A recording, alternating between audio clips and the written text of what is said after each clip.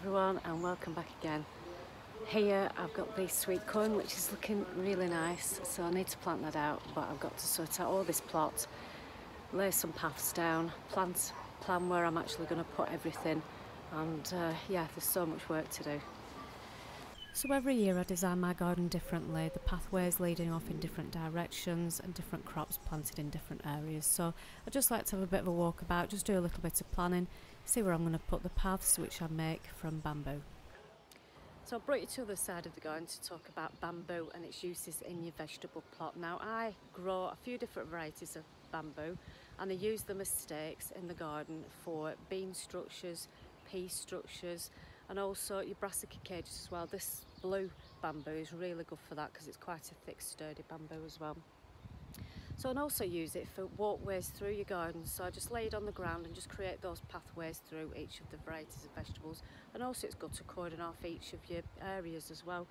Um, so yeah, this is a gorgeous one, this blue. It's so it's huge as well. It's absolutely, it must be about 40, 30, 40 foot high. It's absolutely huge. Really thick and sturdy. It's it is planted in the ground. Some bamboo can just run rampant, so I'd be careful of if you are going to plant it.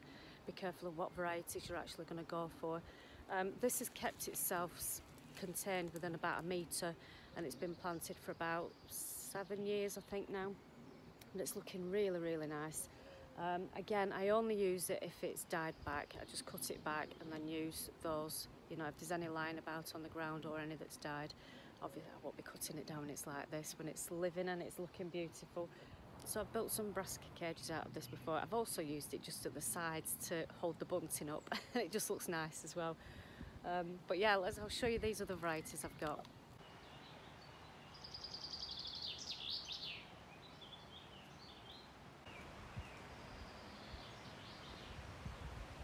Now this is going a little bit wayward, this one. It's got a lovely bright orange stem. It's been blown over in the wind. We've got quite a lot of that as well. It's also really good as a windbreak. But it's quite windy, this garden, so it's good to have that there as a bit of a, a break from it all. Make a way through. So here we have the black bamboo, which again does grow to a decent size as well. Um, and then as you can see some's died back there so I can harvest that and use that in the garden got a really nice clump growing there.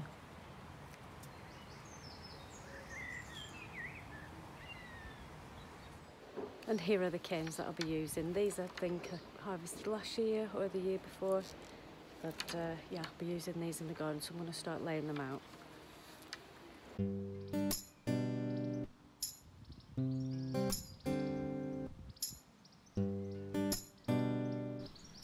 so as it's all different every year, it's just a case of laying it out, see what looks good. I was going to put it sideways like that, but then completely changed my mind and thought I'd just have two long, straight pathways all the way down and then produce in between. And I can just walk around them up and down. You've got to test your pathways see if it's workable for you. I just like these really thin pathways through that I can just about manage to get through because I like to cram as much in as I can do. I could have put another one in at the end here so that I can get in between produce but I think if I did need to get over the other side while I'm over here I'll just do a bit of exercise and walk all the way back and just go around. Right, so sweet corn. I've got two varieties here and with sweet corn you've got to plant them as far away as you possibly can from each variety. So one of them is going to go over in this corner here and then the other is going to go in this far corner over this way. We've got the red strawberry popping corn and the rising sun.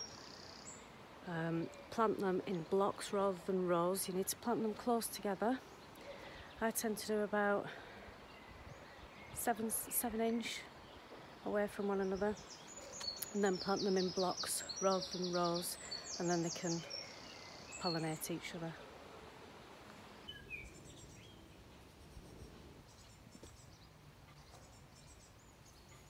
We'll just prepare this ground again, get rid of any of the weeds or trees that are trying to grow in it. Just add a bit more compost. Just to freshen it up a bit and then we can get planting.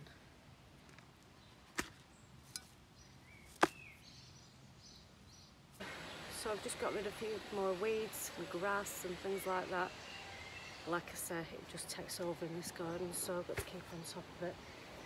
So I've um, just prepared the soil. I'm going to put some mulch down and then I just need to decide which is going in this area because this is a larger area than that one over there and I do have more of the rising sun which is the yellow normal um, corn rather than the small popcorn popping corn so these one two three four five will go in that corner over there and then the others are planting this bit here. So I'm just going to do some mulching. Look at that. Beautiful stuff. Plenty of nutrients in there. Also helps to try and keep the weeds down as well. So I'm just going to do a fine layer over the top.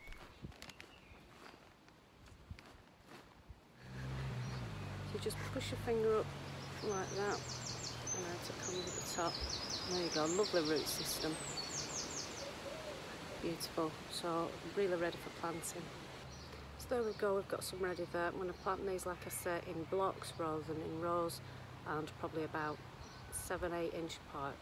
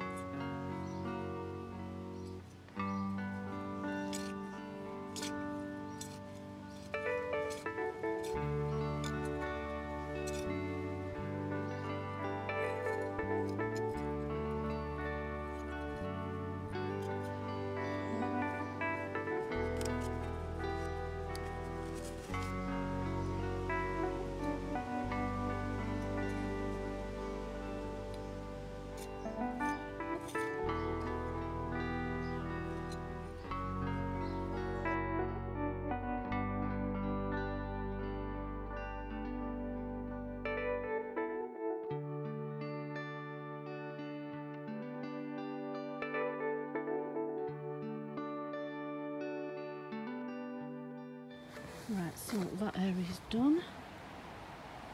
And now I'm going to plant the red popping corn in this triangle area here. We've only got five, I think, so it'll be perfect in that area. Courgette time. Right, I've done so many courgettes again that I could feed everybody in Lancashire, but all this middle section here is going to be courgettes and patty pans. So I've got long courgettes, round courgettes, striped courgettes, green, yellow, everything really. If you are planting them straight in the ground and not in pots, you do them about three foot apart. I tend to do them about two foot just because I like to try and cram in as much as I can do. Right, so next on the list is to planting all these courgette plants here. Um, I'm going to do salad down here, courgettes down here, and then we'll decide later what we're going to do. And these bits down this way, um, still got the celery growing there and the beans are at the back. Still got a few more beans to actually plant out there.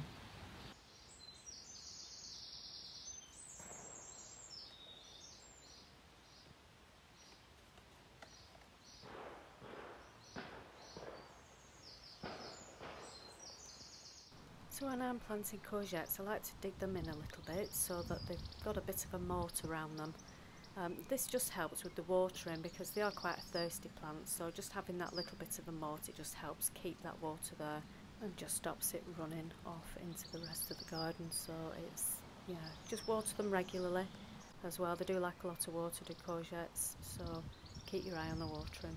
And I'm really excited because I've got an irrigation system coming a solar powered irrigation system so it'll all do the watering for me Right, onto the beans. These are a Cosse Violette, which are a purple French climbing bean. I've grown them before, they're absolutely brilliant.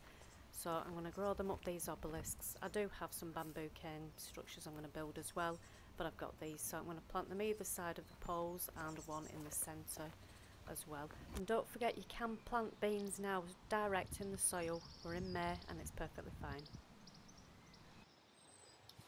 You get these little um, dwarf varieties here and you can just plant them around them. These are obviously the climbing ones But these smaller ones, the dwarf ones, you can just plant them wherever you've got space, in between any of your veg anywhere. Just plant them in, and they only get to about a foot, maybe a foot and a half. You don't need any staking or any support. So, and it's just a good way of getting some extra produce in your, in your, in your areas.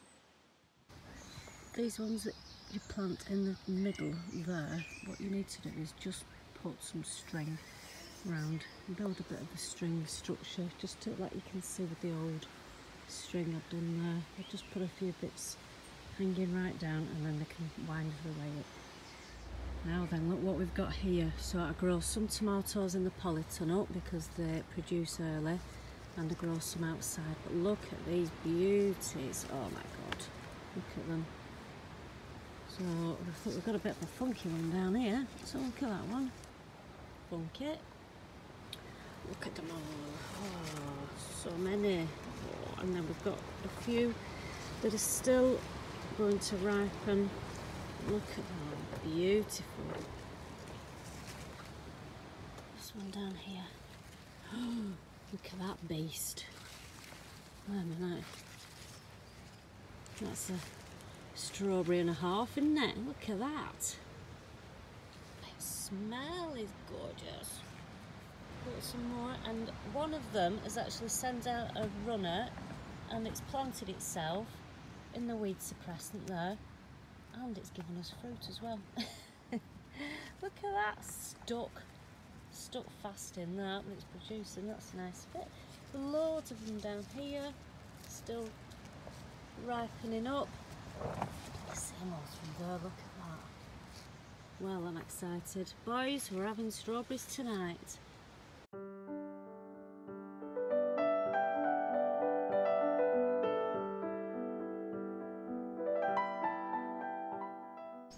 So if you're growing these mustard greens over winter, they will have bolted by now and produced flowers. I've left them for the insects to enjoy.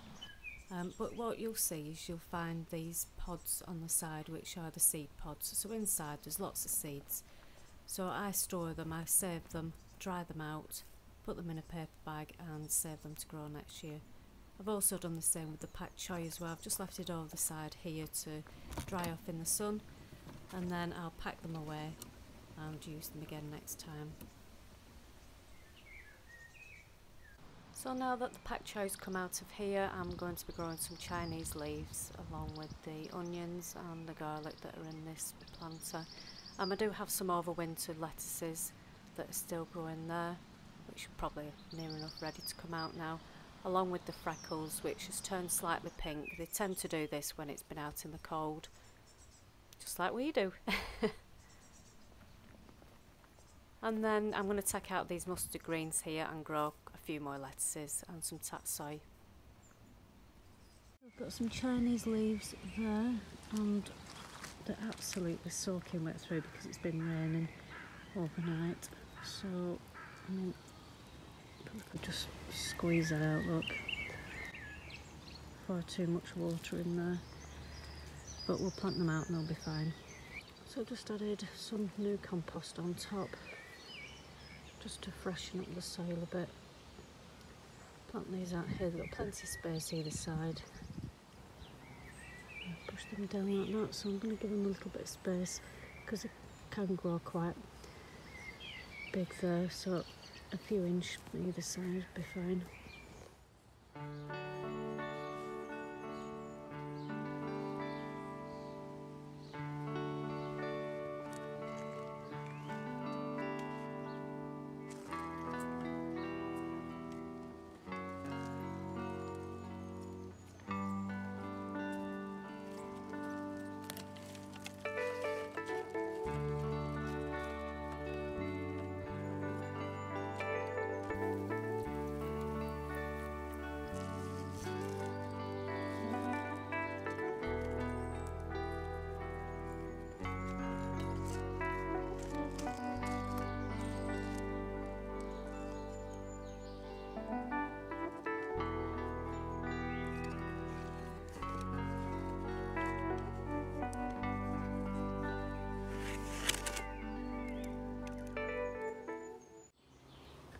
So I'm going to be planting some of this tatsoi in there. As you can see, the roots have gone all the way around in the base and they're ready to be planted.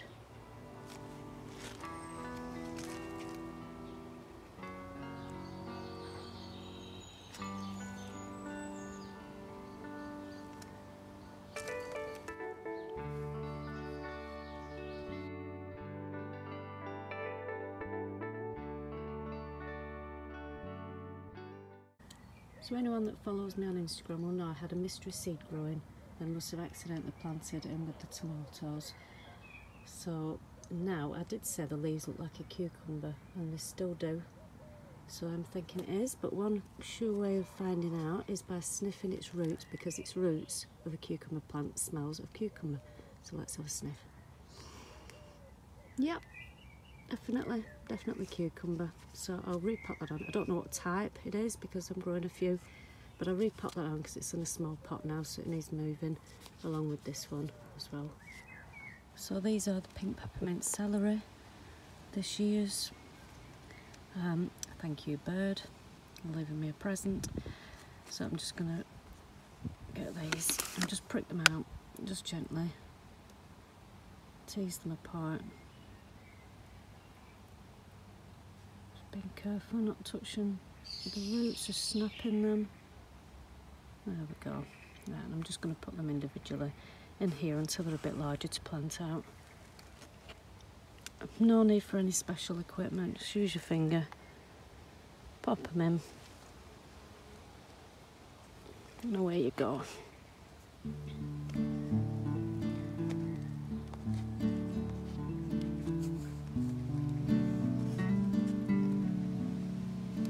Some of them will be stuck in the compost there. Again, make a hole. Try and, they're all clumped together these, so they're a little bit harder work to get out. You get your finger underneath. There we go.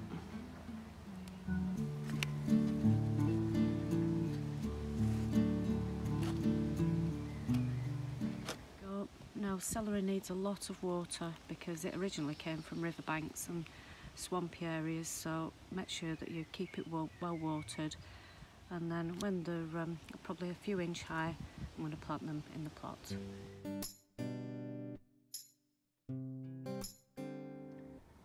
So this is perpetual spinach. This can be grown outside as well, which I am doing, but I thought I'd just do a bit of an experiment to see how well it'd do in the hot polytunnel, and it's growing nicely start harvesting some of these larger leaves here and it will regrow. I've just noticed. Got a tomato. Wonder which one that is. That'll be interesting. I'll keep your eye on that. Might might just leave that actually. Leave that there. See how that does. These are strawberries. Now I found a a really dried up strawberry that had dropped off and it went rock solid and I thought well it's not going to do anything but I'll throw it in just watered and uh, doing okay. Right, that's it for today's episode. I've come inside because it's blowing a gale outside. Sorry if I'm a little bit quiet while I'm talking out there, but there's builders all around and they're all stood listening, so I've just been a bit quieter. Yeah, anyway, lots more to do next week, lots more planting out to do. Um, I've got the celeriac, the celery, uh, what else have I got? I've got all the squash to plant out as well because they are huge. So I need to do that in the polytunnel. I need to repot and plant all of the tomatoes as well. So lots to do. Please join me again next week. Have a great weekend and a great week. I shall see you again soon. Take care. Bye.